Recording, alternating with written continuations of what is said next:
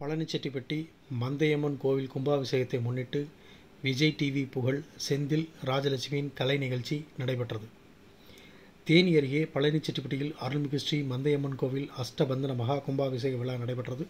இந்த கும்பாபிஷேகத்தை முன்னிட்டு விஜய் டிவி மற்றும் திரைத்துறை புகழ் செந்தில் ராஜலட்சுமி தம்பதியினரின் கலை நிகழ்ச்சி நடைபெற்றது. இந்த நிகழ்ச்சிக்கு கோவில் விழா கமிட்டியரான திருக்கோவில் பணிக்குழு ஒருங்கிணைப்பாளரும் பழனிச்சிட்டுப்பட்டி பேரூராட்சி தலைவருமான மிதுன் சக்கரவர்த்தி நிர்வாகக்குழு தலைவர் செந்தில் கணேஷ் நிர்வாகக்குழு செயலாளர் தீபன் சக்கரவர்த்தி நிர்வாகக்குழு இணைச் செயலாளரும் பழனிச்சிட்டுப்படி பேரூராட்சி துணைத் தலைவருமான மணிமாறன் உள்ளிட்டோர் ஏற்பாடுகள் அனைத்தும் சிறப்பாக செய்திருந்தனர்.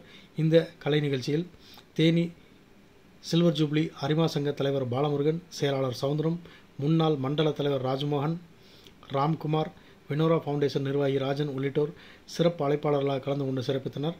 தொடர்ந்து நிகழ்வின் இடையே ஏழை ரேணுகா குழந்தை மருத்துவ செலவிற்கு இருபத்தையாயிரம் ரூபாய் உதவித்தொகையும் வழங்கி சிறப்பித்தனர். இந்த நிகழ்ச்சியில் ஏராளமான பொதுமக்கள் கலந்து கொண்டனர்.